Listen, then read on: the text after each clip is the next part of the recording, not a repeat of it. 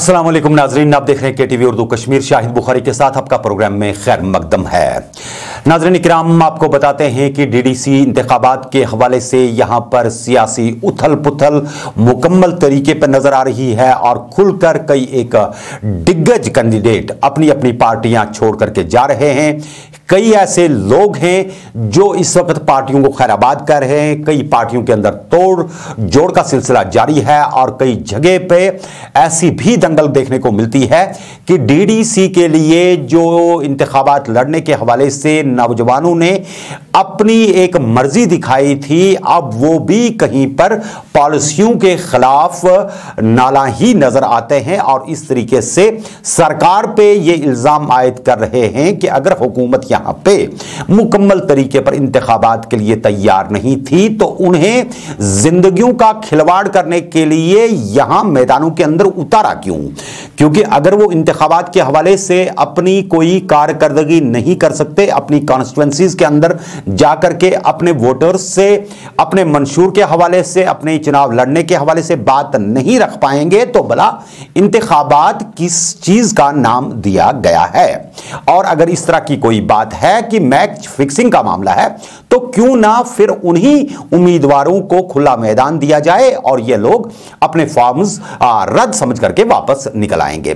नाजरीन कराम आपको बताते हैं कि यहाँ मुजफ्फर बेग जैसे सीनियर लीडर जो बहुत ज़्यादा सुर्खियों के अंदर रहे और पीडीपी को बनाने में भी उनका अहम रोल रहा। उनके दौर में पीडीपी के अंदर भी कई एक फाड़ देखने को मिले, जब गुलाम हसन मीर ने उनके साथ इख्तलाफ राय रख करके उन पर संगीन तरीन इल्ज़ाम आयद किए थे कि ये एक ऐसे शख्स हैं जो किसी भी शख्स को नहीं चाहते कि वो अपनी कारकर्दगी को सामने रख सके, अपने तरीके से, अपने आवाम के लिए खिदमत कर सके और उन पर उन्होंने तानाशाही का उस वक्त इल्ज़ाम आयद करके न सिर्फ़ उन पर इल्ज़ाम ही आयद किए थे, बल्कि पार्टी से अलग होकर के गुलाम हसन मीर ने अपनी जमात डीपीएन बना ली थी।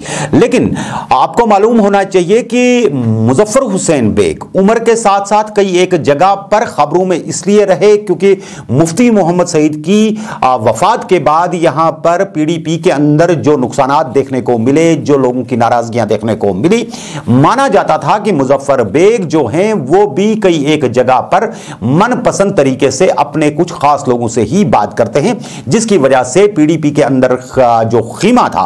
उसमें कई एक जगह पे दरारें नज़र आनी शुरू हो गई थी। कई लोगों ने उस वक्त भी पार्टियाँ छोड़ दी थी। और यही इल्ज़ाम आयद किया था कि दो चार आदमियों को लेकर के पीडीपी में आम वर्कर की इज़्ज़त जो है महफूज नहीं है। बैरिकैफ पाँच अगस्त के फैसले के बाद नाजर कराम आपको याद होगा कि जम्मू कश्मीर के अंदर सियासी मंजरनामा यकलख्त बदल गया। लेकिन जनवरी के महीने में भी मुजफ्फर बेग ने एक प्रेस कॉन्फ्रेंस में यह इंकशाफ किया था कि नरेंद्र मोदी दिल के बहुत ही अच्छे हैं और कश्मीर के लिए अच्छे फैसले लेने के अहल हैं और कोई भी बड़ा फैसला ले सकते हैं। उस वक्त भी यहाँ की सियासी जमातों ने उन पर कई एक निशाने कसे थे। आ, कहने और बताने का मतलब यह है कि जम्मू कश्मीर के अंदर सियासी मंजरनामा कब बदले लीडरान कब अपने मिजाज बदल लें जो लोग रिवायती सियासतदानों की इसको दुहाई दे रहे हैं। नाजरन कराम आपको बताते हैं कि ये वो सारे सियासतदान हैं जो ये बता सकते हैं हम आपको कि अस्सी की दहाई से लेकर के आज तक मुख्त मुख्तलिफ़ पार्टियाँ बदल करके मुख्तलिफ़ मखोटे लेकर के अवाम के बीच में आते हैं और यह दावा करते हैं कि अब जवानों की न सिर्फ़ बेहतरी होगी, बल्कि जम्मू कश्मीर की तकदीर बदल जाएगी, क्योंकि जिस जमात से वो निकल के आए हैं, उस जमात में उनको बात रखने का मौका नहीं दिया गया था। लेकिन फिर जब अपनी जमात दूसरी जमातों में आते हैं तो वहाँ पर जो कुछ वादे किए जाते हैं, दूसरे चुनाव तक वो ये बात कह देते हैं कि फला जगह पर कहने की जो बात थी, उसमें भी रोडे अटका अटकाए गए। चूँकि हम जवानों की बेहतरी चाहते हैं हमें मौका नहीं मिला और फिर वो किसी तीसरे रूप में नज़र आ जाते हैं और इस तरीके से यहाँ पर पार्टियाँ बदल रही हैं लीडर्स वही हैं। कहने का मतलब और आ, मुद्दा यह है कि ये फिर बात वही हो जाती है कि नई बोतलों में पुरानी शराब भर करके आवाम के सामने रख दी जाती है आवाम की भलाई के लिए। कौन काम करता है कौन नहीं करता है इस बहस में हम जाएँगे नहीं। और इसके लिए कुछ ऐसे पुराने लीडरों को ज़रूर आपके सामने लाने की कोशिश करेंगे जो लीडरान खुद बताएँगे कि इतनी पार्टियाँ बदलने के बाद भी फाइनली उन्होंने अवाम के लिए क्या किया और अवाम के लिए क्या कुछ करने में कामयाब हो पाए? लेकिन इस वक्त मुद्दा और मकसद यह है कि मुजफ्फर बेग की जब हम बात करते हैं तो डीडीसी के इंतबात के हवाले से जो गुपकार का अलायंस बना, जिसको आप people's alliance for Gupkar declaration कहते हैं, जिनका इस वक्त यह दावा है कि जितनी भी 140 के लगभग की सीटें हैं, इन पर किसी भी तरीके से बीजेपी को एक कदम टिकने की इजाज़त नहीं दी जाएगी। मुजफ्फर शाह बहुत बड़े बड़े दावे कर रहे हैं। गुलाम अहमद मीर भी हरफ तनकीद बने और इस तरीके से भारतीय जनता पार्टी के बड़े बड़े दिग्गज नेताओं ने दिल्ली के अंदर मीडिया के सामने ब्रीफिंग में यह बात कह दी कि ये जो मामले हैं, इससे खुद अंदाज़ा हो जाता है कि जम्मू कश्मीर को बायफ्रिकेट करने की कोशिशें कौन कर रहा है। बैरिकैफ मुजफ्फर बेग की जब हम बात करते हैं तो उन्होंने पार्टी इस बुनियाद पर छोड़ दी कि अलायंस ने जब मैंडेट दिए, जब मैंडेट वो बांट रहे थे डीडीसी के इंतबात के हवाले से तो उस वक्त उनको एतमाद में नहीं लिया गया, यानी कि उनकी जात को एतमाद नहीं लिया गया। और उन्होंने पीडीपी को खैरबाद कह दिया।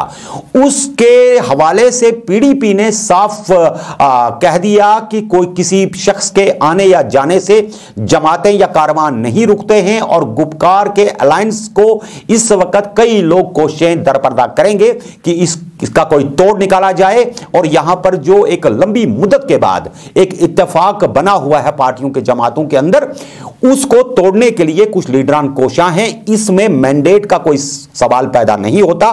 मैंडेट छोटा या बड़ा, कम या ज़्यादा किसको क्या मिलता है, इसके हवाले से जो होगा, सो होगा, देखा जाएगा।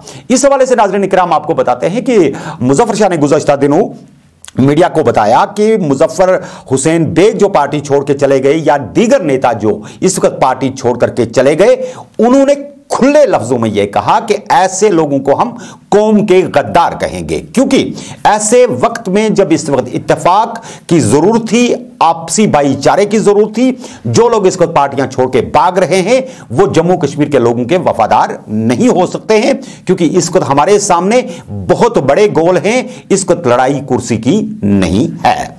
क्या कुछ मुजफ्फर हुसैन शाह ने कहा और उसमें मुजफ्फर बेग का नाम बाजाबता तौर पर लिया गया पहले आपको यह सुनाते हैं।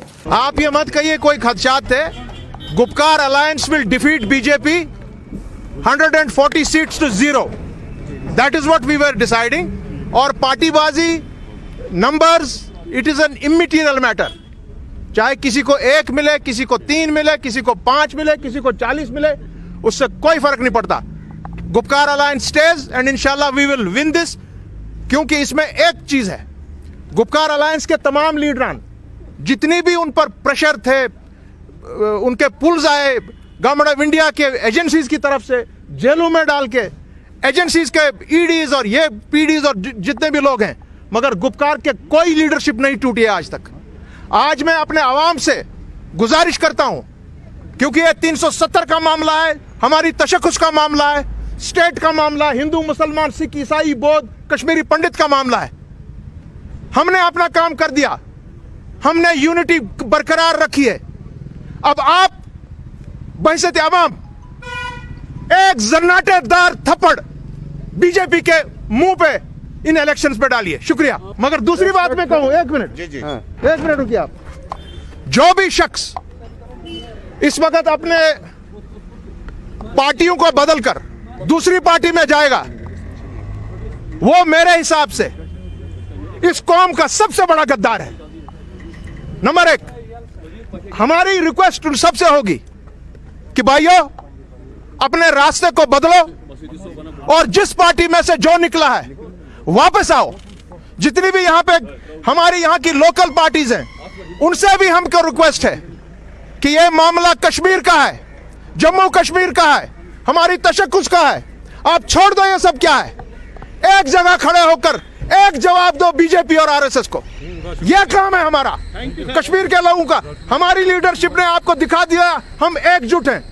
अब कौम को दिखाना है कि वो निकलेंगे बाहर और इनको डिफीट कर जी हाँ नाजरीन इकराम, मुजफ्फर बेग अब किस पार्टी का रुख करेंगे, ये तो आने वाला वक्त ही बताएगा, लेकिन जब हम मैंडेट की बात करते हैं कैंडिडेट की बात करते हैं तो आपको मालूम होना चाहिए कि अलायंस के अंदर जब मैंडेट बांटे जा रहे थे तो बड़े बड़े कॉन्स्टिट्युएंसी हेड्स को भी ये नहीं पूछा गया कि सही मानों में आपकी कॉन्स्टिट्युएंसी में, आपके इलाके में कौन सा ऐसा वर्कर है कौन सा ऐसा चेहरा है जो आवाम को रिप्रेजेंट कर सकता है, जो जिन पार्टियों के खिलाफ वो लड़ रहे हैं, जो उनको दूर रख सकते हैं, या वो किसी तरीके से एक नया बदलाव ला सकते हैं, जवानों के अंदर एक एतम पैदा कर सकते हैं।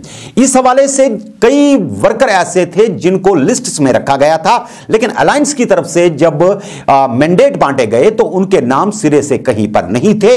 उन जगहों पर ऐसे मनपसंद लोगों को बकौले उन कैंडिडेट्स के ला करके खड़ा कर दिया गया जो पहले ही पार्टी के लिए ही नहीं, चाहे अलायंस के अंदर जो भी पार्टियाँ मौजूद हैं, उन सब पार्टियों के लिए 22 से परेशानी बने हुए थे और उन्हीं की वजह से उन्होंने कई चुनाव हारे भी हुए थे और उन्हीं लोगों ने अपने मफादात के लिए, अपने दोस्तों के लिए मखसूस तरीके से पार्टियों को इस्तेमाल किया था। लेकिन डीडीसी का कैंडिडेट बहरिकैफ, उन्हीं को बना दिया गया। आगे उनका मुस्तकबल रोशन नहीं हो सकता। नाराज़ होकर के ऐसे वर्करान ने आज़ाद उम्मीदवार की हसील से भी फार्म भर दिए। अब जब हम आज़ाद उम्मीदवारों की बात करते हैं तो आज़ाद उम्मीदवारों ने, जिन्होंने भी फार्म भरे तो मुख्तलिफ़ इलाकों से यह शिकायत आनी शुरू हो गई कि जितने भी आज़ाद उम्मीदवार हैं उनको किसी ना किसी तरीके से गेस्ट हाउसेस के अंदर या दीगर जगहों पे अंदर बंद करके रख दिया गया है और सिक्योरिटी की कमी का बाइस बना करके या कोई इस तरह का मामला बना करके उनको कंपेन करने के लिए नहीं निकलने दिया जा रहा है।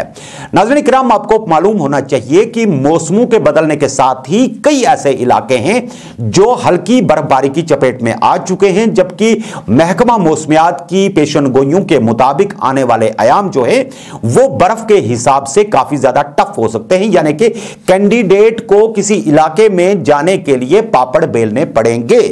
अब इन कैंडिडेट्स का कहना है कि या तो सरकार उनके जो फॉर्म्स है, वो कैंसिल कर दें, या फिर उन्हें किसी भी तरीके से इस नजरबंदी के तरीके पर जो बंद रखा गया है, सिक्योरिटी के नाम पर दीगर मामला को लेकर के तो उन्हें किसी चीज़ का थ्रेट नहीं है। वो अपनी कैंपेन चलाना चाहते हैं, लेकिन यहाँ पुलिस का मानना है कि कई कैंडिडेट ऐसे हैं या कई मामला ऐसे हैं जिनको लेकर के उनको इनकी जिंदगियों के बारे में भी बहुत ज़्यादा कंसर्न है, क्योंकि ये लोग जब चुनाव लड़ने के लिए उतरे तो ज़ाहिर सी बात है, इनकी एकोमोडेशन और इनकी सिक्योरिटी एक बड़ा मामला बनता है, जिस पर सरकार काम कर रही है और अपने अपने तरीके से इन्हें कंपेन करने के लिए छोड़ दिया जाएगा। लेकिन कैंडिडेट हैं कि सरकार की बात मानने के लिए बिल्कुल तैयार नहीं है, चाहे आप बडगाम की बात करिए, चाहे आप बारामूला डिस्ट्रिक्ट की बात करिए या फिर आप गंदरबल ज़िले की बात करिए, जहाँ कंगन के अंदर या फिर कंगन से जब आप बाहर निकलिए तो बडगाम के अंदर जो कैंडिडेट्स हैं, वो क्या कुछ कहते हैं? पहले आपको इनकी ये नजरियात के हवाले से तशवीश दिखाते हैं कि क्यों उन्हें चुनाव की कंपेन नहीं करने दी जाती। कि मसला ये है कि आप देख रहे हैं जितने भी कैंडिडेट यहाँ पे इसके पंचायत के सरपंच और डीडीसी के इनको यहाँ के ला के पुलिस कॉलोनी में रखा हुआ है। हम मानते हैं कि सिक्योरिटी रीजन का मसला है। लेकिन ये जो इलेक्शन है ये घर से घर तक डोर टू डोर का इलेक्शन है। ये पार्लियामेंट का कोई असेंबली का इलेक्शन नहीं है कि हम सुबह जाएँगे और लोग जमा होंगे तो उनको हम भाषण देंगे सुनाएँगे आ जाएँगे वापस। ये डोर टू डोर का इलेक्शन है और ये सोची समझी साजिश के तहत हमें बंद किया है। देखिए अगर सिक्योरिटी रीजन का मसला ये है कि हालात खराब है। मैं कहता हूँ कि अगर पाँच सरपंच को मार मारने से जम्मू कश्मीर का मसला हल हो जाता है तो हम सारा मरने के लिए तैयार हैं। अगर हमें मारने से मसला हल नहीं होता तो जो लोग कहते हैं कि अस्करी वजह की, कि हमें डर है उनके मारने का हम आवाम के लिए निकले हैं ना कि जम्मू कश्मीर पाकिस्तान का मसला हल और हिंदुस्तान का मसला हल करने के लिए निकले हैं। हम छोटे मसाइल हैं जिनकी वजह से आवाम परेशान है वो मसाइल हल करने के लिए निकले हैं। हम कोई बड़ा ये पोलिटिकल इशू लेकर नहीं निकले और हम कोई किसी किस्म का कोई खतरा नहीं है। अगर ऐसी कोई बात है तो गवर्नमेंट उसके लिए कोई मुतबादल इंतज़ाम करे। यहाँ आज तीन दिन से हमें बंद रखा हुआ है। हमें लोगों के साथ बात करनी है। हमें लोगों के साथ मिलना जुलना है। खुदा के लिए हमें बताएँ हमें इलेक्शन ग्राउंड पे लड़ना है या इन दीवारों से लड़ना है आके ये ये, ये देखो ना ये पोलिटिकल एक प्रोसेस होता है कि लोगों के पास जाना है। हमें ला के यहाँ बंद किया हुआ है। हमें कोई यहाँ बिल्डिंगों के साथ इलेक्शन नहीं लड़ना है ना सरकार के साथ। हमें अवाम के, के अंदर जाना है और ग्राउंड पर इलेक्शन लड़ना है। इसलिए गवर्नमेंट को चाहिए कि हमें अपने अपने इलाकों में छोड़े। अगर बाकी उनको सिक्योरिटी का मसला है तो हमें अपने अपने इलाकों में रखें। वहाँ सरकारी बिल्डिंग है स्कूल है पंचायत भवन है उनमें रखिए वहाँ सिक्योरिटी का इंतज़ाम करें। ये अच्छी बात नहीं है हम लोगों के साथ रबते में नहीं है हमारा टच ही लोगों से अलग हो चुका है। और दूसरी सबसे बड़ा मसला मैं अस्करी तंजीमों से भी और सारी एजेंसियों से कहता हूँ कि हम जम्मू कश्मीर का मसला हल करने के लिए नहीं निकले हैं। ना पंच और सरपंच के बनने से जम्मू कश्मीर का मसला हल हो सकता है। उन लोगों को भी ये सोचना चाहिए कि, कि पंच सरपंच को मारने से कोई मसला नहीं हल होगा वो भी अपने दिमाग में सोचे। हम छोटे मसाइल हल करने के लिए आए हम हिंदुस्तान पाकिस्तान का मसला हल करने के लिए नहीं आए। मैं फिरदोस नबी। आज आपके माध्यम से अपने जो जम्मू कश्मीर की यूटी एडमिनिस्ट्रेशन है, उनको बताना चाहता हूँ कि कंप्लीट मिसमैनेजमेंट है आपका जो आप इलेक्शन अभी करवा रहे हैं जम्मू कश्मीर में डीडीसी के इलेक्शन हमें जब जब हमने फॉर्म की नॉमिनेशन की और हमने जब फॉर्म भरे, हमें उस वक्त पुलिस ने वहाँ से लाया और हुमामा के बाहर एक जगह पे खड़ा कर दिया। दो घंटे हम बाहर थे और कोई भी अकोमोडेशन का वहाँ पे जो है साधन नहीं था। और हमें फिर बड़ी मुश्किल से जब हमने आईजीपी कश्मीर को कॉल की उन्होंने कहा कि बार बार उन्होंने कहा कि मैं मीटिंग में हूँ। उसके बाद मैंने जो चीफ इलेक्शन ऑफिसर है हृदय कुमार साहब, उनको मैंने कहा कि जनाब, ऐसा ऐसा मसला है। और उसके बाद मैंने डिप्टी कमिश्नर बडगाम जो डीईओ है डिस्ट्रिक्ट इलेक्शन ऑफिसर है, उनसे भी बात की। फिर जाके तब दो ढाई घंटे के बाद नायब तहसीलदार साहब उनको उनको, भेजा गया और उन्होंने हमें शेखपुरा जो है अकोमोडेशन दी। वहाँ पे भी बड़ी मुश्किल उनका सामना करना पड़ा। हमें अकोमोडेशन के लिहाज से बहुत सारी मुश्किल थी और खाने पीने के लिहाज से भी बहुत मुश्किल थी। उसके बाद हमें श्रीनगर शिफ्ट किया गया। अलहमदुल्ला यहाँ पे अकोमोडेशन ठीक है। लेकिन मसला ये है कि हमें दो कैंडिडेट्स के, जबकि हम एक ही कॉन्स्टिट्यूंसी में लड़ रहे हैं दो दो कैंडिडेट्स को एक ही जगह पे रखा गया। तो हम किस तरीके से अपनी कंपेन चला सकते हैं? मतलब एक ही गाँव के जो दो कैंडिडेट्स हैं, किस तरीके से वो अपने वोटर को मोटिवेट कर सकते हैं कि आप हमें जो है हमारे हक में वोट कास्ट करें? दूसरा, हमारा ये मसला है कि ट्रांसपोर्टेशन और सिक्योरिटी का मसला है हमारा। हमें जो है अपनी कॉन्स्टिट्यूंसी में कंपेयर करनी है इस वक्त हम कमरे में बैठ के तो नहीं कर सकते हैं। हमें अपने वोटर्स के पास जाना है और हमें उसको उन तक पहुँचा पहुँचाने के लिए कोई भी ज़रिया नहीं है। और पहुँचने के लिए कोई भी ज़रिया नहीं है। हम हमने बार बार डी साहब को रिक्वेस्ट किया कि है और जो पीसीआर के डीएसपी डी, डीआर है उनसे भी हमने गुजारिश की। कि हमें ट्रांसपोर्ट ट्रांसपोर्ट और सिक्योरिटी मुहैया की जाए ताकि हम अपने कॉन्स्टिट्यूंसी में जो है वोटर्स के पास पहुँच सके। लेकिन बदकिस्मती ये है कि वो सुन ही नहीं रहे हैं। कोई मतलब इरेस्पॉन्सिबल अथॉरिटीज है ये। बिल्कुल सुन नहीं रहे हम यहाँ पे हमें बंद किया गया, बल्कि जो और कैंडिडेट्स है, जो इनके फेवरेबल कैंडिडेट्स है, ये कंप्लीटली फ्रॉड और मिसमैनेजमेंट है इनका। मैं समझती हूँ बहुत बड़ा फ्रॉड है, क्योंकि वो अभी कंपेन कर रहे दो तीन पार्टियाँ हैं, जो मेन पार्टियाँ वो अभी कॉन्स्टिट्यूंसी खान साहब में कंपेन कर रहे लेकिन हमें मौका नहीं दिया जा रहा है, हम यहाँ पे बंद। ये बहुत बड़ी नाइंसाफी है, हमारे पहले तो जम्मू कश्मीर की हुकूमत जो है, ये प्राइम मिनिस्टर से लेके इंडियन जो सेंटर गवर्नमेंट है सेंटर गवर्नमेंट से लेके जे की यूटी जो है, इसकी एडमिनिस्ट्रेशन उन्होंने भी कहा कि हम यहाँ के नौजवानों को मौका देना चाहते पढ़े लिखे नौजवानों को जो है सामने लाना चाहते लेकिन हमें ये नहीं लगता, ये बिल्कुल सेंसिटिव नहीं है। और बिल्कुल हमारे जो हमें, हमारे साथ बहुत बड़ी नाइंसाफी की जा रही है। ये कंप्लीटली हमें हराया जा रहा है विदाउट ये, हमें सिर्फ़ ये ये दिखाने के लिए वहाँ पे इलेक्शन में नौजवान आ रहे हैं, पढ़े लिखे नौजवान है, लेकिन हमें मौका नहीं दिया जा रहा है। हमारे लिए बहुत बड़ी नाइंसाफी है, क्योंकि हम अपने वोटर्स तक नहीं पहुँच पा रहे और हमें यहाँ पे बंद रखा गया है। कोई भी सुनने के लिए तैयार नहीं है। बल्कि हमें मीडिया से भी मीडिया जो है हमारा, उसको भी जो है ना अलाउ नहीं करते हैं। क्यों? मुझे, हम क्या, हम, हमने कोई जुर्म किया है? हमने कोई क्राइम किया है? हम अवाम के लिए लड़ रहे हैं आवाम के लिए काम करना चाहते हैं। तो हमें मौका दिया जाए मीडिया के साथ बात करने के लिए। और आपको पता भी है कि फोर जी यहाँ पे है नहीं अवेलेबल है नहीं। तो जिस वजह से हम कंपेन थ्रू सोशल मीडिया भी नहीं कर पा रहे हैं। तो हमारे लिए साधन एक ही है कि हम मीडिया के ज़रिए अपनी कंपेन कर सकते थे। लेकिन बदकिस्मत ये कि उनको भी हमारे पास आने का मौका नहीं दिया जा रहा मुझे समझ नहीं आ रहा ये क्या ये क्या हो रहा है हमारे डिस्ट्रिक्ट बड़गांव में। हमारे लिए साफ़ ऑप्शन है कि हम बाइकआउट करेंगे। हम जो है हम गवर्नमेंट ऑफ़ इंडिया को लिखेंगे कि आप बिल्कुल सेंसिटिव नहीं है आप सिर्फ़ झूठ बोलते हैं झूठ पे आपका सारा दावा मबनी है। कुछ नहीं है आपको लोगों के लिए सिर्फ़ एक ड्रामा रचाया जा रहा है और जिसके हम शिकार हो रहे हैं। बस हम इसके खिलाफ बाइकआउट करेंगे। हमें बंद किया गया है। मैं सनाउल्ला लोन खान साहब कॉन्स्टिट्यूंसी से इसे आज़ाद उम्मीदवार की हैसियत से लड़ रहा हूँ। लेकिन मुझे पूरा समझ आ रहा है कि हम गरीबों के लिए लड़ने निकल निकले थे। बहुत बहुत अफसोस की बात है अफसोस की बात है। कि आज तक हमें बंद किया गया है क्योंकि ये किसी किसी किसी गरीब के पास न जा सके और हम हमारे खिलाफ साजिश न चाह रही है क्योंकि इनको बंद बंद रहना है। मसला ये है ये जितने भी ये सियासतदान है इन्होंने हमारा खून चूसा है। आज तक इन इन्होंने हमें खत्म किया है। तीस साल तक हम इनके पीछे पीछे रहे लेकिन इन्होंने गरीबों को सताया गरीबों का खून चूसा है। मैं इल्तिजा करता हूँ अगर गवर्नमेंट है कहीं हमें बाहर जाने दो हमें अगर मरना है हम खुद मरेंगे लिख कर देंगे कि हम मर रहे हैं। लेकिन कोर्ट की चीज़ की ज़रूरत नहीं है हम इनके खिलाफ लड़ने निकले हैं लेकिन हमें हमें समझ गया ज़रूर। सारा मीडिया जितना भी जम्मू कश्मीर का होगा उसके ज़रिए हम पूरी दुनिया को बताएँगे पूरे हिंदुस्तान के अवाम को बताएँगे जम्मू कश्मीर के अवाम को बताएँगे कि हम नौजवान अपने जानों को जोखिम में डाल के हमने खिदमत करने का फैसला लिया था। और हमने सोचा था कि हम इन चोरों को जो कल तक इलेक्शन का कह रहे थे कि हम इलेक्शन बायकॉट करेंगे उनके खिलाफ हम निकले थे। और इन्होंने हमें मौका नहीं दिया। बिल्कुल एक साजिश रची बिल्कुल साजिश हो रही है। यहाँ पे मेरा नाम गुलाम का सना है। आप कहाँ से कंटेस्ट कर रहे हैं? मैं गंजवान ऐसे कर रहा हूँ। जी। मैं डीडीसी के लिए कंटेस्ट कर रहा हूँ। लेकिन एक चीज़ समझ से बाहर है हम्म। कि हम यहाँ पे आए हैं इलेक्शन लड़ने के लिए। और हमें यहाँ रखा है इसलिए इस रीज़न से कि हमें थ्रेट है।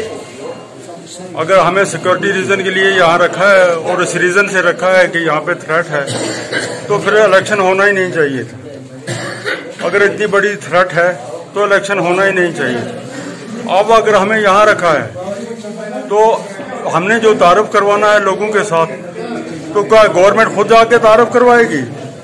क्या गवर्नमेंट हमारा प्रचार खुद जाके करेगी?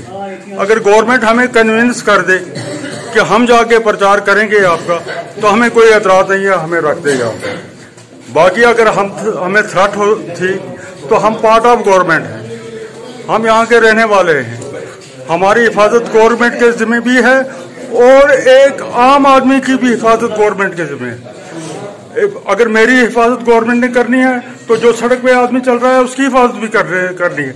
अगर मुझे क्वार्टर में लाकर महफूज किया जा रहा है तो आम आदमी को कौन महफूज कर रहा है? तो इसलिए हमारे गवर्नमेंट से रिक्वेस्ट है कि इलेक्शन कमीशन ने जो गाइडलाइन दी है कि कैंडिडेटों को छोड़ो, लोगों के साथ मुलाकात करने दो, अपना नुमाइंदा चुनने दो, और हमें छोड़ दें, हम लोगों के पास जाएँगे, हम अपना मसला उनके पास सामने रखेंगे, वो अपने मसले हमारे सामने रखेंगे। बाद में क्या होना है, क्या ना होना है, जो कैंडिडेट सेलेक्ट हो जाएँगे, वो वहाँ पे अपना काम बखूबी समझाएँगे। लेकिन ये तरीका नहीं है, ना ये इलेक्शन लाइन की गाइडलाइन जी हाँ नाजीन आपने देखा कि ये खदशात जो थे, ये वो लोग कर रहे थे ज़ाहिर, जिन लोगों ने फॉर्म भरे हैं और बाजाबता तौर पर इस वक्त एक चुनाव का हिस्सा बने हैं।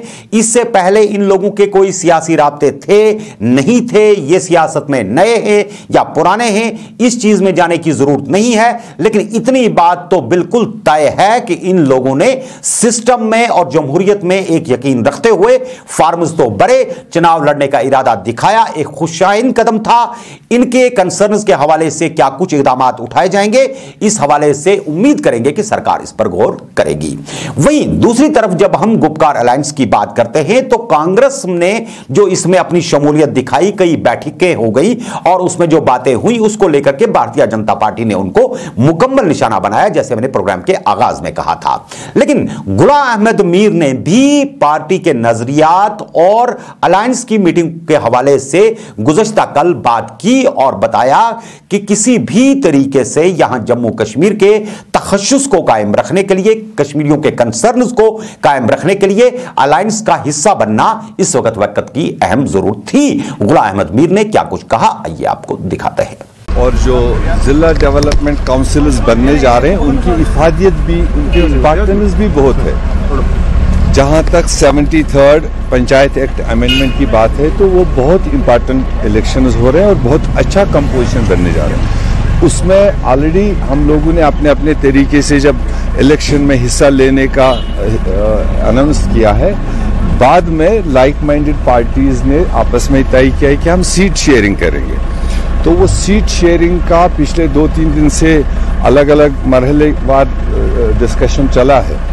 तो उसमें जो कहीं कहीं थोड़ा बहुत नीटी ग्रिटी जो हमारे सेकंड टीम्स ने डिस्कस किए थे तो उसको फाइनल टच तकरीबन देने के लिए आज फारूक साहब ने कहीं मैंने कहा था किसी एक जगह मेरी क्लेम है, किसी दूसरी पार्टी ने कहा था मेरे कैंडिडेट के लिए तो उसके फाइनल टच के तौर पर आज साढ़े ग्यारह बजे से मीटिंग चली है।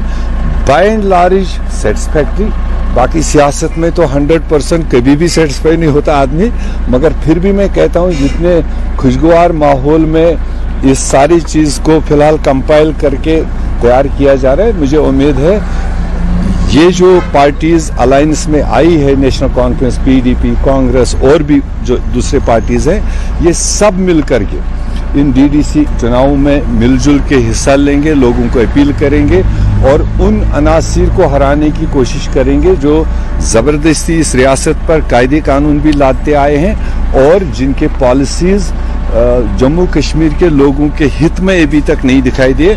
लोगों को भी एक बेहतरीन मौका है। कि जहाँ वो दूसरे किस्म के प्रोटेस्ट करते थे, उससे हट के जमहूरी तरीका प्रोटेस्ट का, अपनी नाराज़गी को इजहार करने का बेहतरीन तरीका है कि वो अपने बटन इस्तेमाल करके एक सही फैसला दे, सही उम्मीदवार को, सही कम्बिनेशन को चुने। ये हमारी अपील रही। नाजरीन, गुजश्ता पाँच, छह प्रोग्रामों में हमने कंटिन्यूस बात करी थी सरहदों के हवाले से कि सरहदें लहू लहा हैं। और यह भी कहा था कि यह किसका लहू है, कौन मरा? नाजरीन किराम, इस हवाले से जो इस वक्त तशवीश है, वो सबसे बड़ी तशवीश उन लोगों के लिए है जिनके अज़ीज़ इस वक्त मरगुजारों की जीनत बन रहे हैं। और दो मुल्कों की आपस की नाराजगियों के बीच में जो इस वक्त एक तरफ़ से इन्फिल्ट्रेशन हो रही है तो दूसरी तरफ़ से बारूद बरस रहे हैं, दूसरी तरफ़ से गोले गिरते हैं, वो भी सिविलियंस पे गिरते हैं। तो यहाँ जब जवाबी कार्रवाई होती है तो वहाँ भी सिविलियन ही उसकी जद में आ रहे हैं। और उसके साथ साथ सिक्योरिटी के अहलकार जो दिन रात जाग करके सरहदों की हिफाजत करते हैं किसी न किसी तरीके से इस वक्त अपनी जानों के नजारे पेश कर रहे हैं। गुजश्ता दिनों पेश आए वाकयात के हवाले से नाजरन किराम आपको बताते हैं कि यहाँ पर कई एक सिक्योरिटी एहलकार जो थे, वो गोलाबारी की जद में आए और अपनी जानों को वतन के लिए निसार कर दिया। इस हवाले से कई एक जवानों को जब अपने घर विदाई दी गई यहाँ से और उनके शव वापस भेजने की कोशिश की गई तो खराज तहसीन के मौके पर जो वहाँ पे आला अफसरान थे उनके ख्याल कुछ यूँ थे।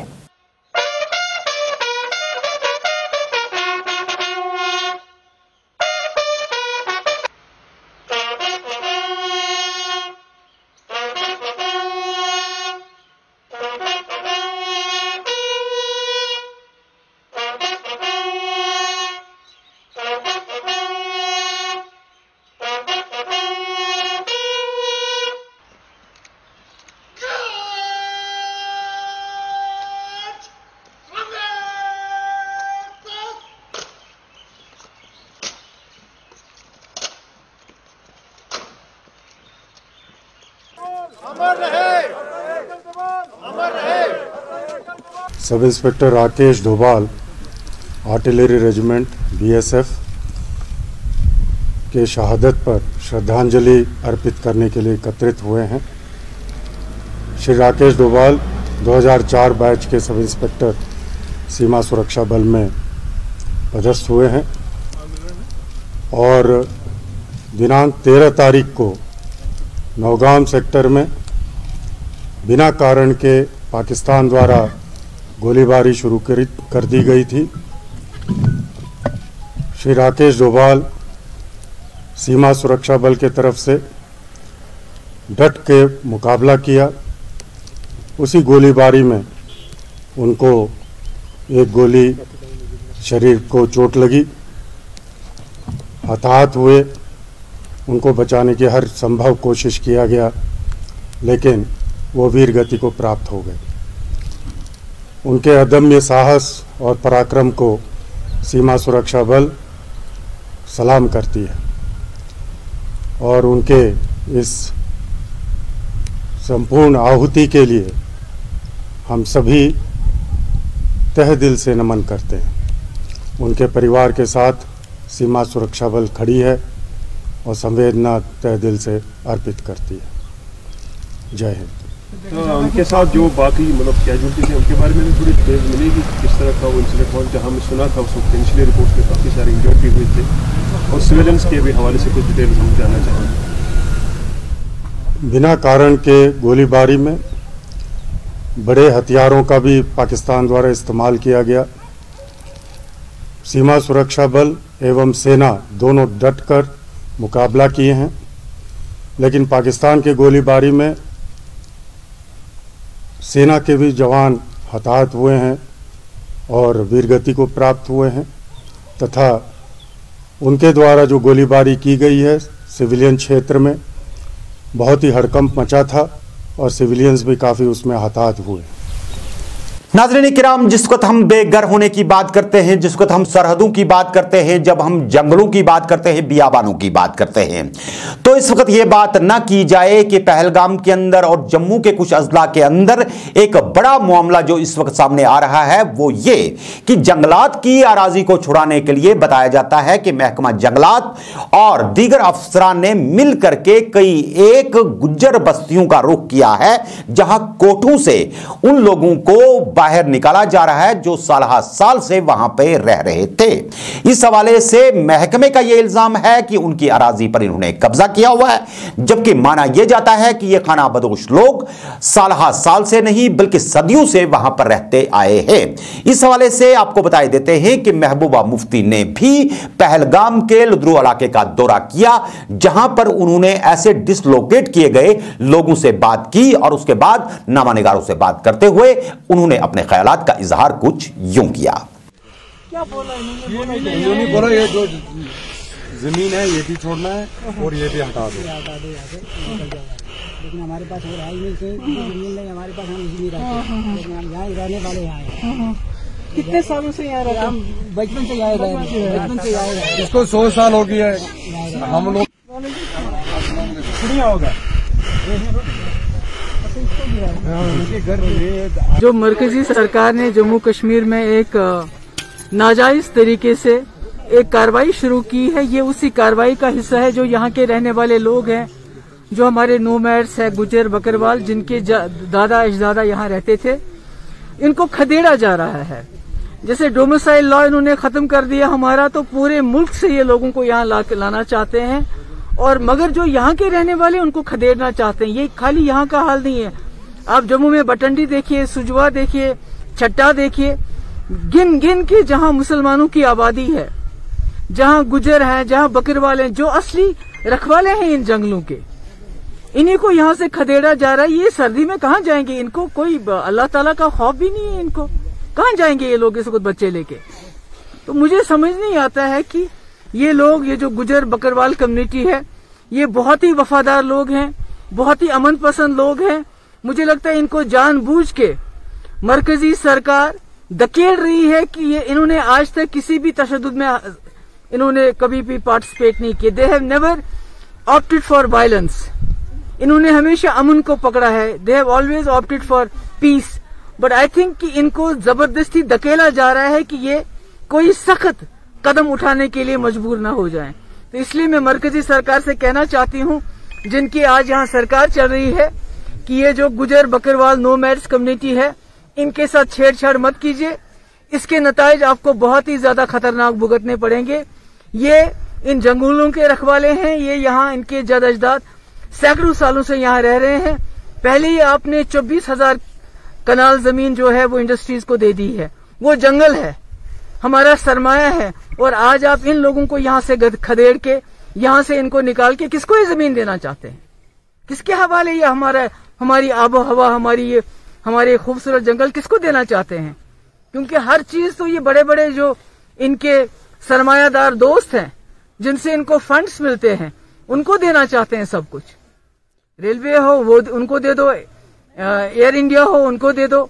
अब जम्मू कश्मीर की ज़मीन को भी ये सेल पे रखना चाहते हैं। शेम तो नाजरीन कराम इसके साथ ही आज के प्रोग्राम का वक्त भी पहुँचता है अपने इकदाम को। अगर खुदा ने चाहा कुछ नए मौजूद के साथ फिर होगी। एक मरतबा आपसे मुलाकात। अपना बहुत बहुत ख्याल रखिएगा। हमें भी रखिए अपनी दुआओं में शामिल। दीजिए आज के शुमारे से इजाज़त। खुदा हाफिज नासिर।